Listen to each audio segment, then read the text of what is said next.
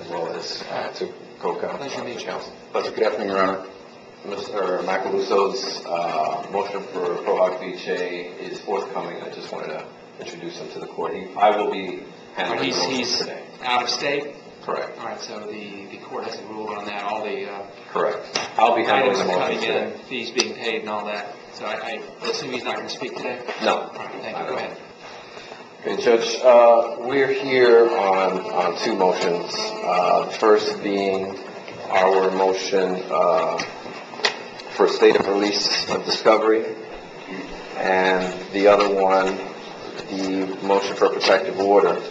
I'd like to address the uh, motion for protective order first, as I believe uh, the Orlando Sentinel is here to respond to that, and they've uh, submitted a motion to intervene as well and I believe the county is represented as well.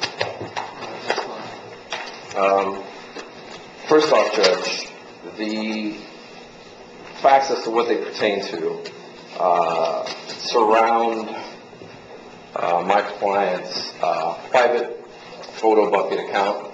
Um, Just to give, the- to educate the court a little bit about what Photobucket is and how it works. Um, there, it's a server type service where you can post your photos to either stay private, and you can also have them uh, become public. Um, My client had several accounts with PhotoBucket, um, many of which, despite what has been reported, many uh, of these photos, or images, I should actually refer to them as images because they don't only deal with photographs. Um, I would say there are a couple thousand, a couple thousand of these images, and um, many of which were downloaded or uploaded, I should say, uh, to this account a very minimum a year prior to uh, Caylee Marie Anthony becoming missing.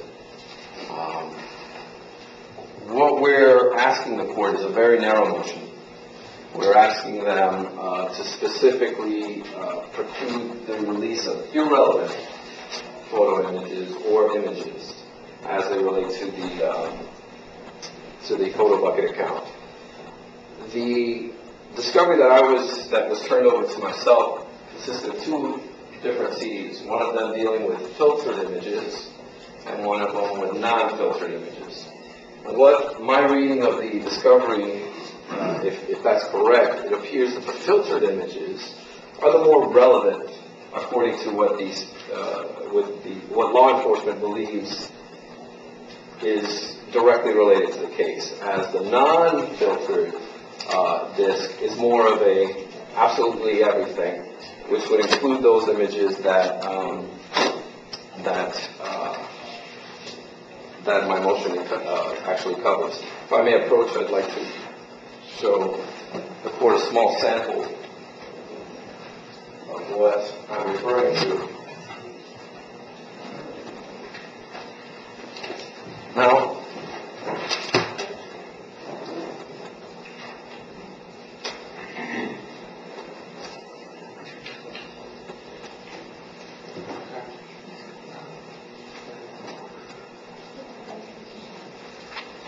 Um,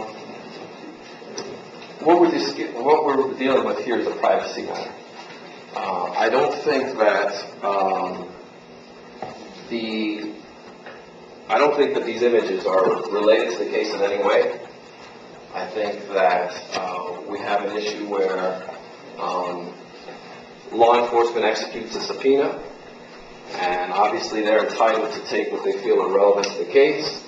And it's our position that if the state feels they want to use any of these images, course to select the ones that they feel are relevant to the case, and they can submit those in discovery, whereas these irrelevant images should stay as they are, private and irrelevant.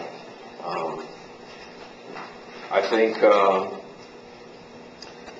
what we have here, I, I think the court can take a look at a couple of examples, one of which was submitted in my motion, uh, that encum, that, that basically covered the photograph of my client at a party prior to Caylee becoming missing.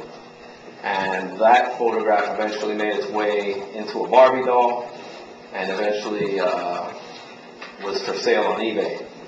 Um, There are numerous examples of a lot of these irrelevant issues becoming the center focus of, of this actual case. And I give the court another example.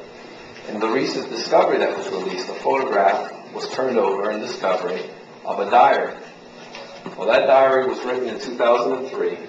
It wasn't even confiscated by the police during the search warrant, but yet they took a photograph of it, submitted it into the uh, actual discovery, and all, all over national news became the topic of this di- diary as to when or when it wouldn't have been written. I think it's issues like this, uh, irrelevant issues like this that are becoming the cornerstone of a lot of what's going on in this case. Trust, I, I can, I can, uh, ask the court to trust me when I tell you, the last thing I want to do is be taking up the court's time with these types of motions. I'm sure the state, as well as myself, are more, it's okay.